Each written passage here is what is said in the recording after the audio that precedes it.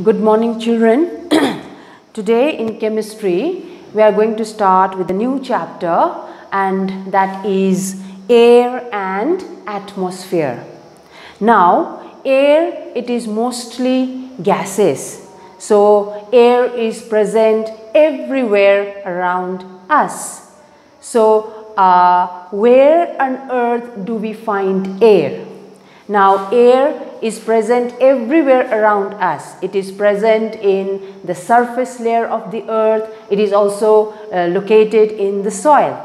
But air is not only located in the soil, it is also present in uh, on the earth's uh, air layer which is called atmosphere.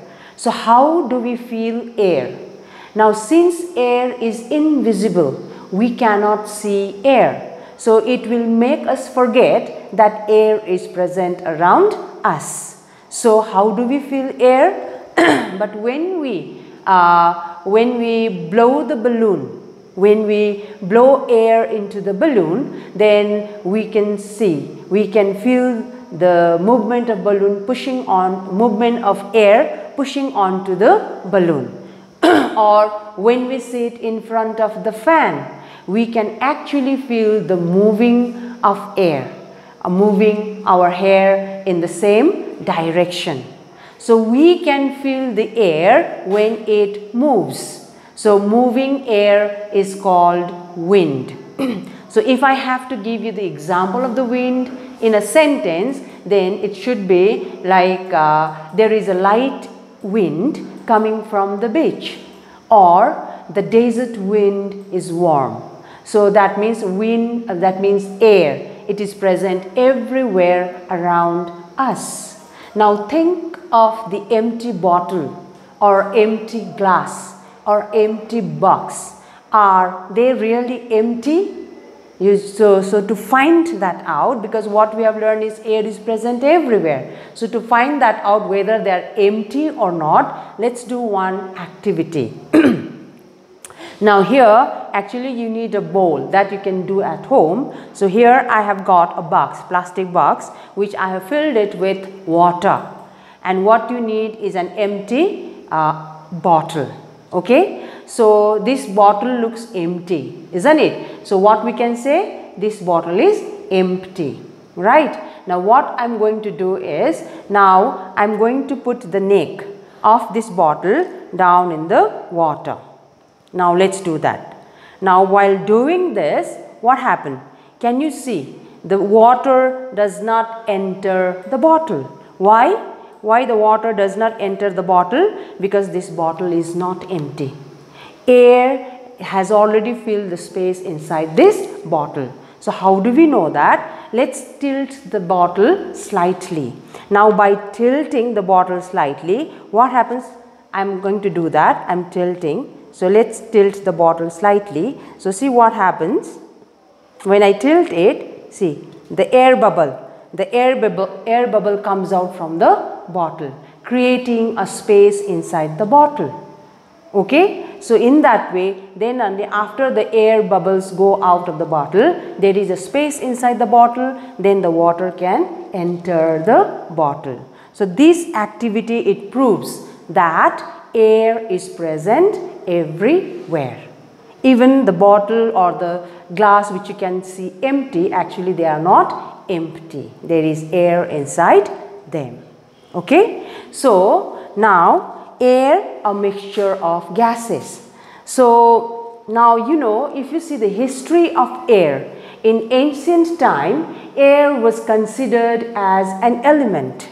So, it was in 1674 an English chemist John Mayow, he uh, found out that air has two main components. Components means of what the air is made up of. So the two main components of air he has he found out and out of which one of the component is very active and the other one is inactive. Okay. Then again in the year 1789 uh, a French uh, chemist, uh, Antoine Lavoisier, he found out that these two components of air are present in the ratio of 1 is to 4 by volume. So these two components today we call it as oxygen and nitrogen. So the two main components of air are oxygen and nitrogen. And this Antoine Lavoisier, he also found out the uses of oxygen. Oxygen they are used in respiration also and they are also used in uh, the burning of substances. So naturally which component do you think is active? It is obviously oxygen. So, what is air exactly then? Now, air actually it is a mixture of gases. Air contains different types of gases. So, if you see the main components of air, they are nitrogen and oxygen. So, the air contains about 78% of nitrogen and 21% of oxygen.